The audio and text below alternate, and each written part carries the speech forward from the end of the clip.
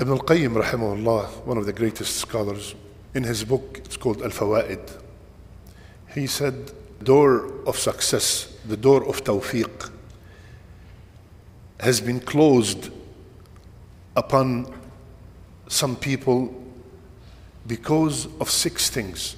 If somebody does not have tawfiq, it's one or more of these six things, or one or more of these six things is the reason for there's no success in his life or in her life. He said, first, being busy and occupied with the ni'mah, with the blessing itself, than being busy with being grateful to the ni'mah. Clear? Being busy with the ni'mah itself, uh, let's take an example. Money, ni'mah, right? Wealth is a blessing. I am being or I am occupied with the wealth more than I am occupied of thanking Allah for that wealth. More than I am occupied, how can I spend that wealth to please Allah subhanahu wa ta'ala? I'm occupied with my children, whether they are ni'mah, I'm, I'm guaranteeing their future by the, you know, putting them in the school and putting on that, and I am neglecting the way to thank Allah for that ni'mah by teaching them their deen, by teaching them the Arabic, by bringing them with me to the masjid, and so on. How can we be grateful to the ni'mah? We be grateful to the ni'mah with three things with the heart, with the tongue, and with the actions. If you want to be grateful to any blessing, these are the three ways to be grateful. With the heart, by admitting and confirming and believing that this ni'mah is from Allah. This success that I have, this PhD, this doctorate, this is uh, engineering degree, this house that I have, all this is from Allah. Not because I'm a shrewd businessman, I'm a smart guy, I went to school, my father is rich. No, no, no. I have to admit that this ni'mah is from Allah Azza wa Jal. I was able to attend Fajr today, not because I have a car or my alarm went off. No, because Allah wants me to come to attend Fajr. This is a ni'mah. I have to admit that this guidance that I believe in Allah, that I am a muwahid, this is from Allah Azza wa Jal. He chose me from all these millions to guide me. This is from Allah. This is how I thank the ni'mah. With the heart. With the tongue, obviously, by constantly, Alhamdulillah, you know, thanking Allah Azza wa Jal by mentioning the ni'mah, by showing the ni'mah.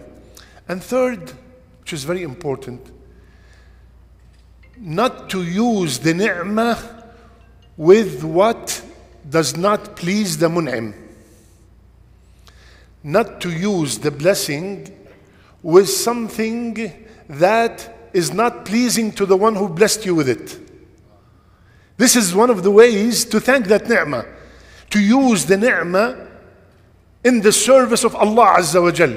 Allah blessed me with these eyes. Many people are deprived from vision.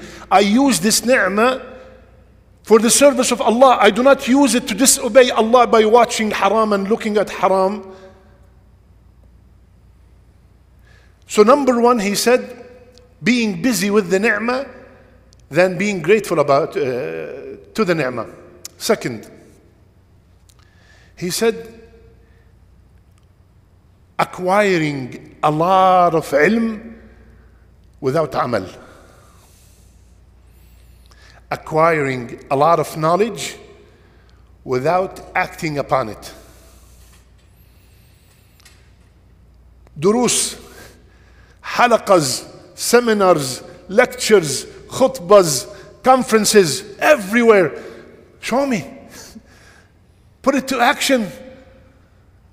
And did you notice now? Uh, how was the conference, brother? Ah, oh, mashallah, the bazaar. Amazing, ya akhi. Such a beautiful bazaar. Everybody, la ilaha illallah. Alhamdulillah, bazaar is good. But this is what you went for, for the bazaar. Those shuyukh are preparing and they're putting all their effort so you can benefit. And they're giving us all this information and this uh, knowledge. We get a lot of knowledge. We memorize the Quran. We don't put it into action. We memorize the Bukhari, we memorize this hadith, we memorize the dua. We do not put it into action. We are so involved in acquiring the knowledge, but there's no amal. There's no amal. That's the second one. Third, rushing to commit a sin and delaying the repentance. We are in general, ya akhwan, people who sin.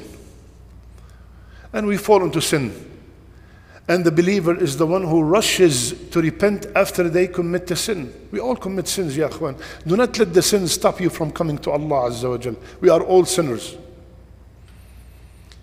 But the trick is to rush to repent. Brother, why you only pray Jum'ah? Insha'Allah, Ramadan, I'm going to start praying on, on time or praying all five salawat. He is leaving the salat, the five daily salat, is a major sin.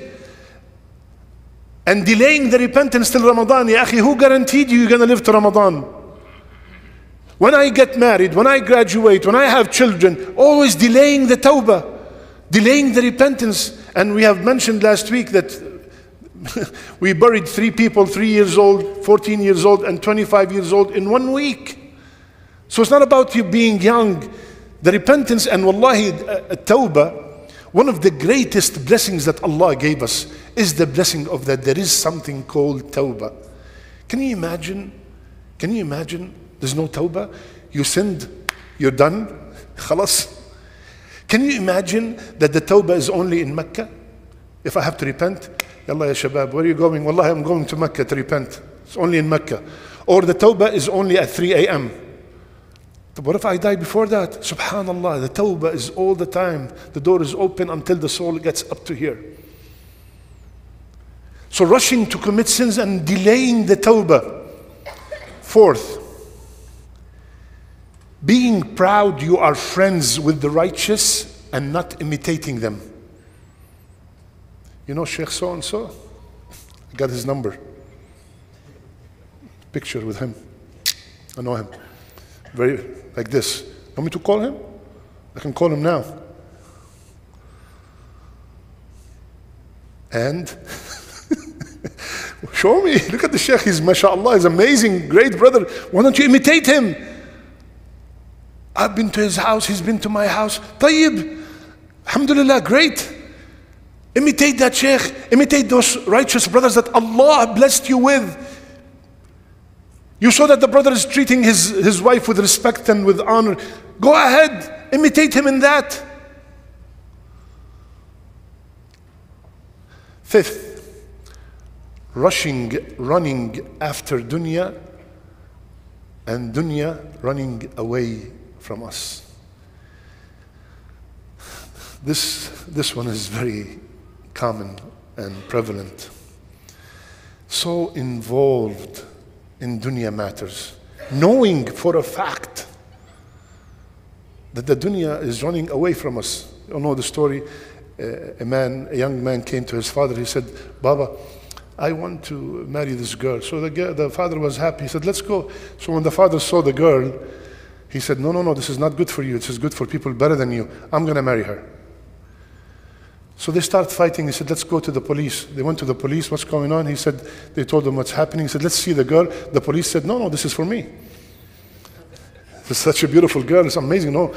The police fight. They went to the mayor. The mayor said, This girl is for me. Long story short, the girl said, You know what? Stop fighting. I'm going to run. And whomsoever catches me, he will get me. So she started running, and everybody's running. And then while they're running, they get exhausted and they fell and they all perished. They all exhausted, done. She stood up and said, I am the dunya. And you're all running after me. You're not going to catch me. Who do you know that is, who told you that, ah, I'm done? I am done. I got it all. I am satisfied. Have you ever met somebody? Rasulullah sallallahu alayhi wasallam told us the son of Adam, if he has a valley of gold, what happened? He will wish for another. And the, the continuation of the hadith, he said, alayhi salatu wasalam, and nothing fills the mouth or the soul of a human being illa except a turab any dirt when he's in the grave this is the only time he's satisfied because he cannot do any but otherwise he continue running after the dunya and the last one is the akhirah is running to us and we're running away from it. And sometimes when you're in a gathering and you mention death, Ya Akhwan, we prayed janazah, Ya Akhwan, remember Allah, Ya Akhwan, look at the qabr, Ya Akhwan. Yeah. Leave us alone, Ya Akhi. Every time we see you, every time we sit down, you mention death. Your beloved and our beloved, alayhi salatu wasalam, what did he say? Akthiru.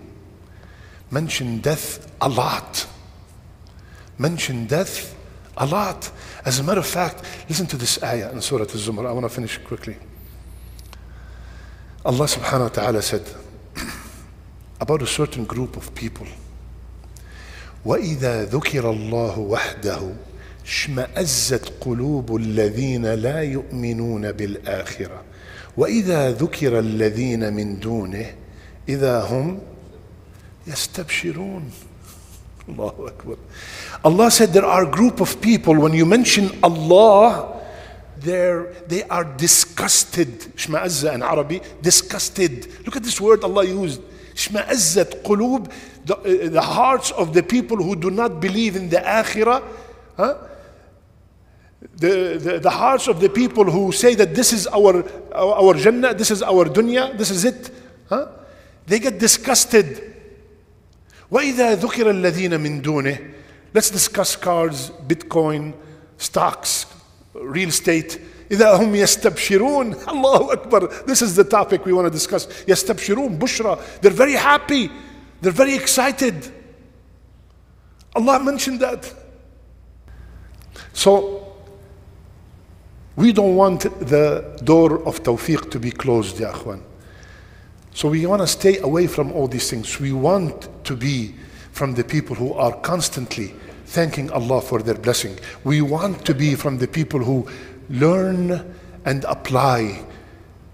When we ask Allah to give us ilm, make me from the people who know and apply. When we want to be in the company of the righteous, let's try to imitate them. Let's try to imitate them. And ya akhwan, similarly, take from the dunya what you need. And concentrate on the akhirah. What's happening, ya akhwan, this is a statement that I repeated many times, and I love to repeat it because it's so true. We are so busy with what is guaranteed and we are neglecting what's not guaranteed. We are so busy with the rizq, with the sustenance, which Allah has guaranteed 100%. All you have to do is make that effort. And the Jannah, which is not guaranteed, we are not doing as much. May Allah make us from the people of the Akhirah. May Allah protect us from any evil. May Allah make our last deeds our best deeds and our last words, La ilaha illallah.